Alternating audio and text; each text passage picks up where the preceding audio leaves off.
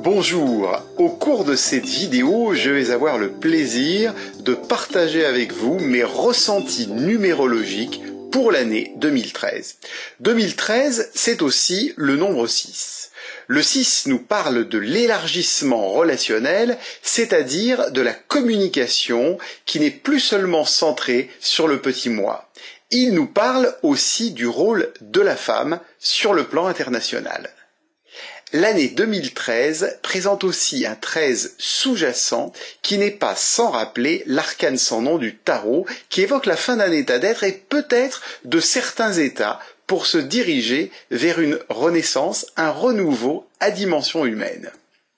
Il s'agit de se régénérer, de pratiquer l'œuvre au noir alchimique par rapport à toutes les structures terrestres établies, telles que les rapports entre les pays, ce sont finalement de grandes familles, ou encore notre manière d'utiliser la planète Terre et aussi d'y trouver notre place à tout point de vue, nouvelles structures professionnelles, population grandissante, etc.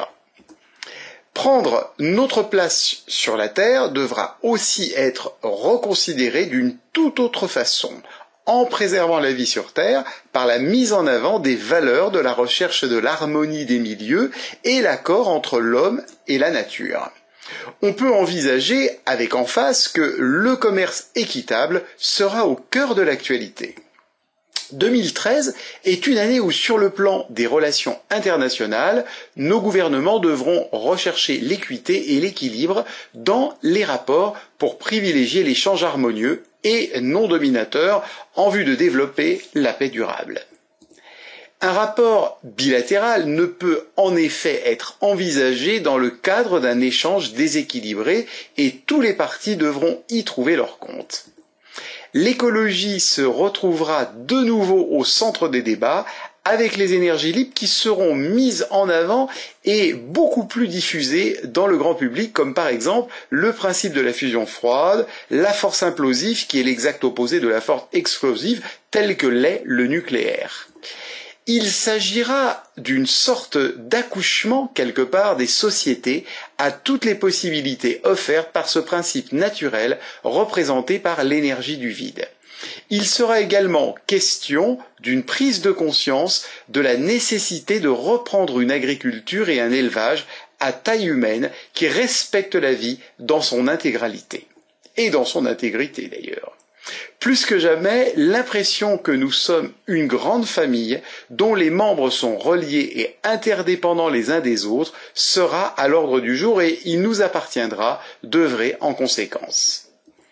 La Terre poursuit sa phase de guérison entamée depuis l'an 2000 qui passe par des morts apparentes où l'on peut avoir l'impression que tout est pire qu'avant, mais qui n'ont pas d'autre objet que d'aboutir à des renaissances par la prise en compte de la nouvelle conscience.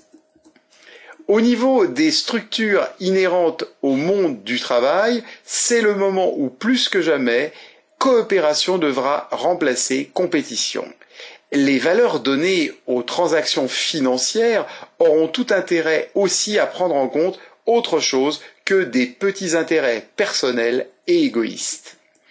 Au niveau individuel, l'entraide familiale sera plus que jamais d'actualité.